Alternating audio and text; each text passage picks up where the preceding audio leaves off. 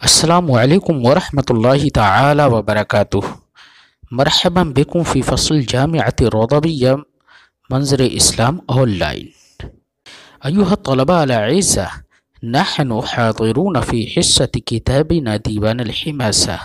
فأنتم مستعدون لسماع قراءة ديوان الحماسة. أنا أرجو منكم أن تتوجهوا إلي بكل الإصغاء. ولا تمهلوا شيئا مما ألقي عليكم من المحاضرة.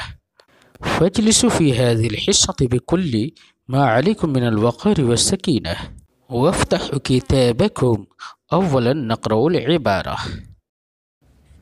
بسم الله الرحمن الرحيم.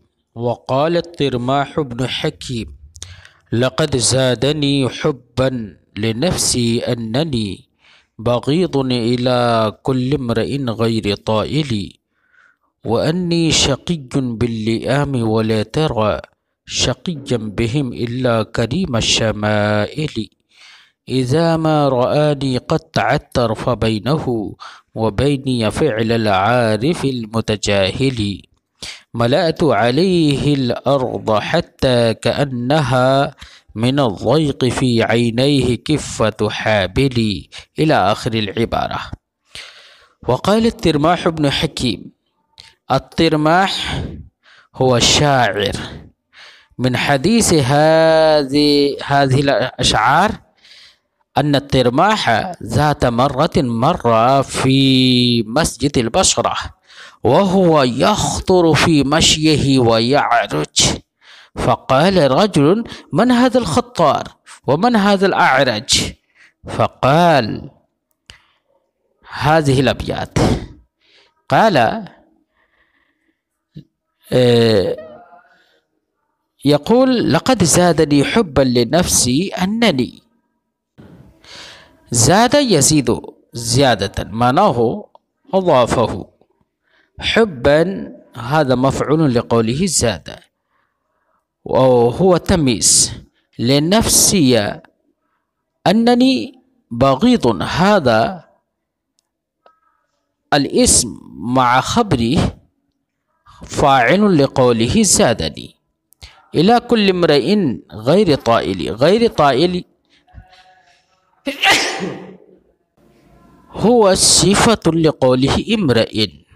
بغيض معناه مبغوض. فالمعنى لقد زادني حبا لنفسي أنني أي قد زادني حبا لنفسي ومحبة لذاتي أنني مبغوض أي زادني أنني مبغوض. إلى كل رجل لا ينفع غيره غير طائل أي لا ينتفع به غيره. ويقول وإني شقي باللئام ولا ترى شقيا بهم إلا كريم الشمائل. وإني شقي هو معطوف على قوله أنني بغيض إلى كل امرئ. يقول يزادني حبا لنفسي أيضا شقوتي باللئام. الشقوة معناه المحروم لا ينتفع. من لا ينتفع فهو شقي. يقول زادني حبا لنفسي أيضا شقوتي باللئام حتى تنقصوني واغتابوني. ثم بعد ذلك يقول مقطعا عن الإخبار كأنه هو مخاطب ومقابل لمخاطب ملتفتا إليه فقال ولا ترى أحدا يشقى بهم إلا وهو كريم الطبع. ولا ترى؟ يا أيها المخاطب إنك لا ترى محروما بهم و شقيا بهم محروما بهم وغير منتفع بهم إلا رجلا كريما كريم الشمائل كريم الطبع. الشمائل جمع الشمال معناه الطبع. يقال بالأردية اپنی جان کی محبت اور بڑھا دیتی ہے یہ چیز کہ میں ہر اس انسان کے نزدیک مبغوض اور دش دشمن ہوں، ہر اس انسان کے نزدیک مبغوض ہوں، ہر وہ انسان مجھ پر بغض کرتا ہے جو غير طائل جس کے پاس کوئی فائدہ نہ ہو، جو دوسرے کو کوئی فائدہ نہیں پہنچاتا ہو۔ اور مجھے یہ بات بھی اپنی ذات کی محبت کو بڑھا دیتی ہے کہ میں شقي باللئام کہ میں کمینوں کے یہاں پر محروم ہوں۔ کمینوں کی نظروں میں میں محروم ہوں۔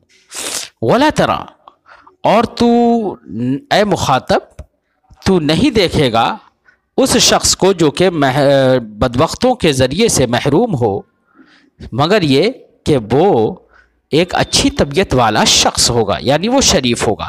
تو جس طریقے سے میں بدبختوں اور لئیم اور کمینوں کے یہاں کے ذریعے سے شقی اور محروم ہوں اور ان سے فائدہ نہیں اٹھاتا ہوں، یہ دلیل ہے اس بات کی کہ میں کریم الطبع اور شریف المزاج ہوں۔ اذا ما رآني قطع الطرف بينه وبيني فعل العارف المتجاهل اذا ما رآني أي حينما ذلك اللئيم رآني. فاللئيم هو مستفاد من قوله اللئام. قطع الطرف بينني وبينه. أي هو وقطع الطرف هو كناية عن الإعراض. فالمعنى قطع الطرف بينه وبين بيني.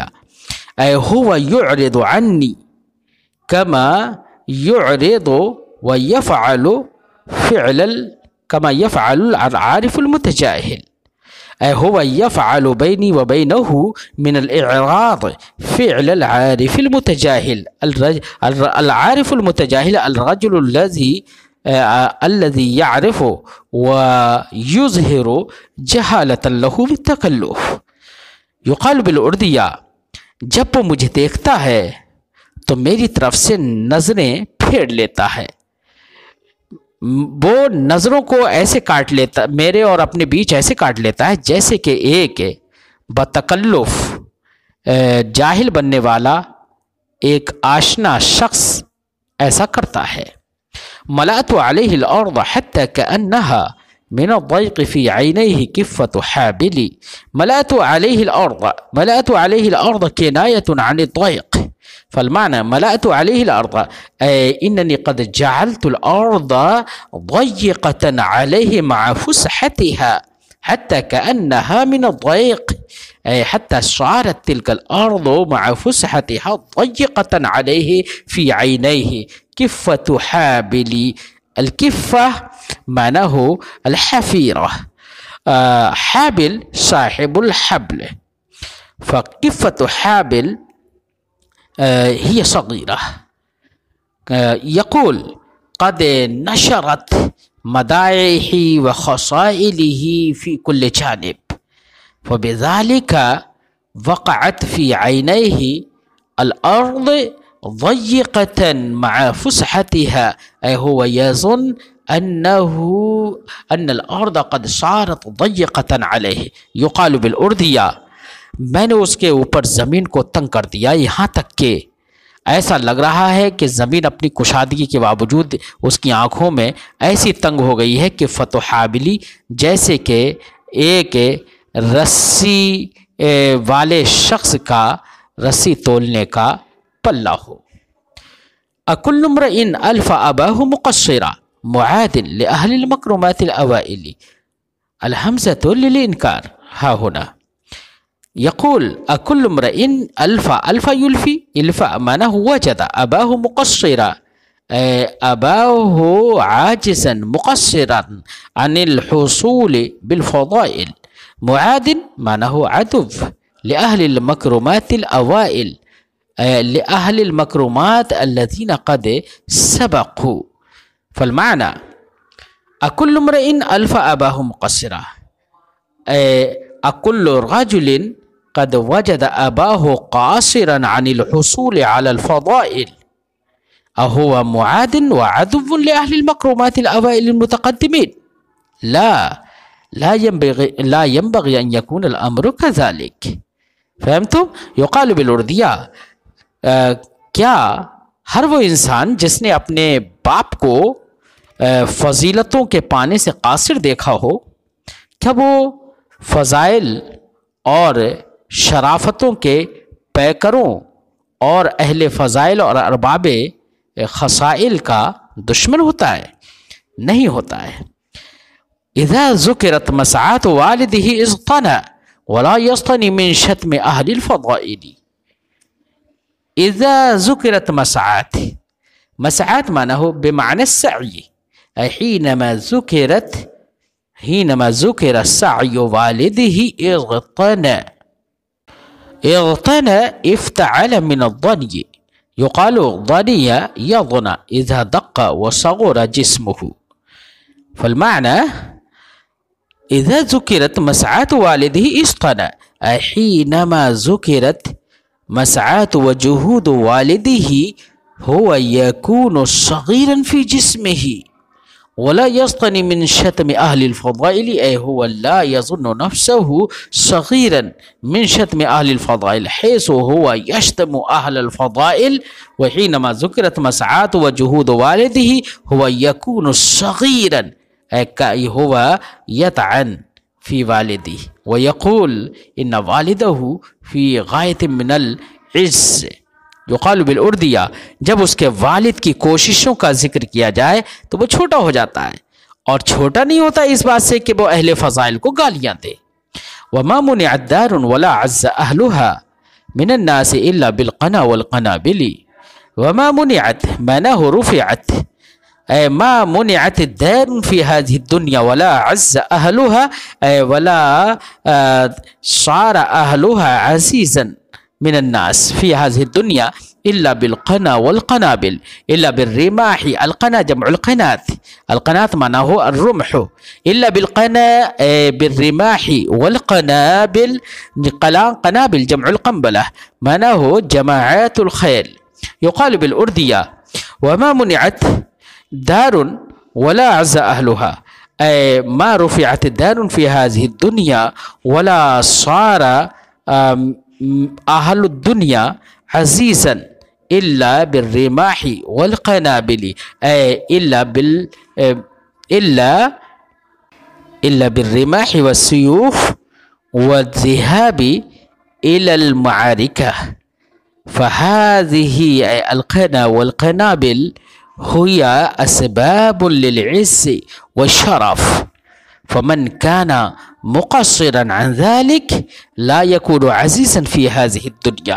يقال بالأردية، اس دنیا میں کوئی بھی گھر بلند نہیں کیا گیا، اور نہ ہی لوگ، گھر والے لوگ عزیز اور معزز ہوئے إلا بالقنا والقنابل، مگر نیزوں کے ذریعے اور اور گھڑ سواروں کی جماعتوں کے ذریعے۔ انتهى الدرس۔ السلام عليكم ورحمة الله تعالى وبركاته۔